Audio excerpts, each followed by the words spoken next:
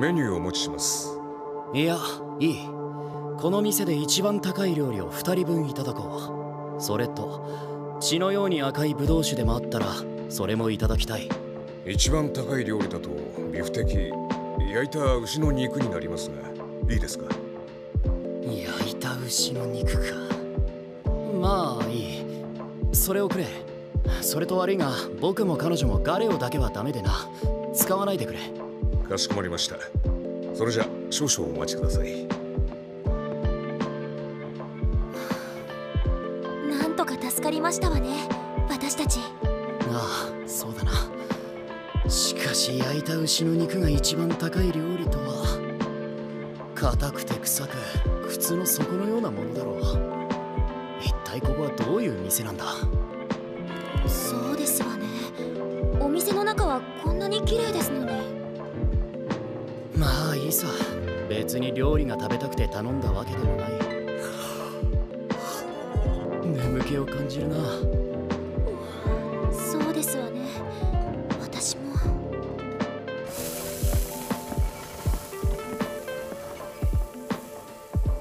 お二人ともオラニエは大丈夫ですよね？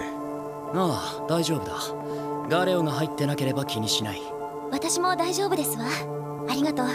それはよかったお待たせしました。ビフテキです。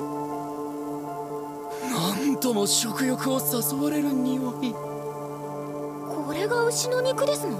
ええ。知人から仕入れてまして結構いいやつ使ってるんですよ。それとこちらがワイン。ブドウ酒です。ありがとうパンとスープはおかわり自由ですので必要になったら言ってください。想像してたものと違いますわね。ああ思ってたよりずっと良さそうだ。それじゃあ食べよう。はい。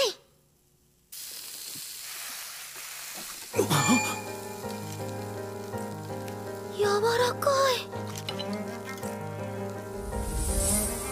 処理の仕方がいいのか？元々の肉質がいいのか？これがこんなに柔らかいものが牛の肉と思えない。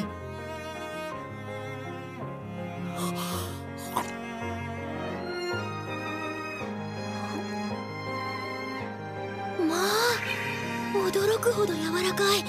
噛めば噛むほど口の中いっぱいに良質な肉と油の味が広がる。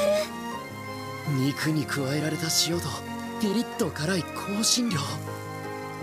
それと細かく刻んだ生のオラニエの辛みと火を通したオラニエの甘みが噛んだ時の肉汁と甘い油が混じり合い肉の旨みを際立たせている。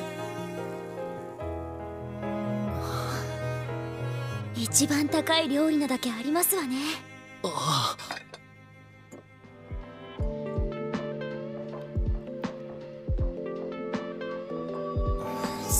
澄んだ味わい。水で割らずともこれほど美味とは。ほんととっても美味しい。ここに逃げ込んだのは正解だったな。ええここなら誰も追っては来られないわ。夜の闇に暮らす二人の未来に。闇の女神の祝福があらんことは